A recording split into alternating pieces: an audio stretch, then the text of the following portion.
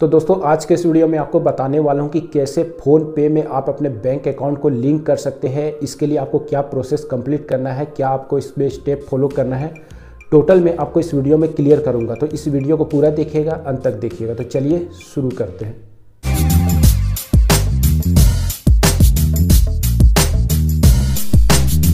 PhonePe में bank account link करने के लिए सबसे पहले फ़ोनपे एप्लीकेशन को ओपन करें। जैसे आप इसको ओपन करते हैं तो जो मोबाइल नंबर यहाँ पे शो होगा, आपके बैंक अकाउंट से रजिस्टर होना बहुत ज़रूरी है। तभी आप इस पर क्लिक करें और प्रोसेस को कंप्लीट करें। जैसे आप इस पर क्लिक करते हैं एसएमएस का परमिशन मांगा जाएगा, इस पर आप अलाउ करें। और अलाउ करने के बाद ऑटोमेटिक यहाँ पे ओ आएगा और ये जनरेट हो जाएगा।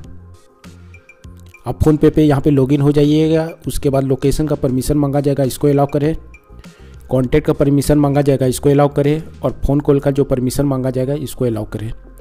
बैंक अकाउंट ऐड करने के लिए ऊपर में ही आपको ऑप्शन मिल जाएगा ऐड बैंक अकाउंट का, इस पर आपको क्लिक कर देना है।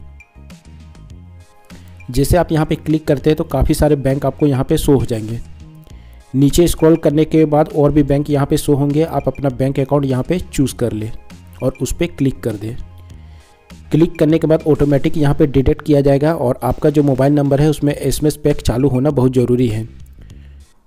आपका बैंक जो है वो फाइंडिंग किया जाएगा और फाइंडिंग करने के बाद यहाँ पे आपका बैंक शो होगा, आपका नाम यहाँ पे शो होगा, साथ में आईएफसी कोड यहाँ पे शो हो जाएगा। नीचे में ऑप्शन मिलेगा प्रोसीड टू ऐड इस पर आपको क्लिक कर देना है।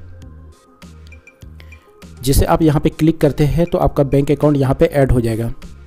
तो दोस्तों, अगर आप यहाँ पे पेटीएम फ़ोनपे या गूगल पे पहले से यूज़ करते हैं तो वही यूपीआई पिन आपका यहाँ पे लगेगा, नहीं तो आप यहाँ पे नया पिन जनरेट कर सकते हैं।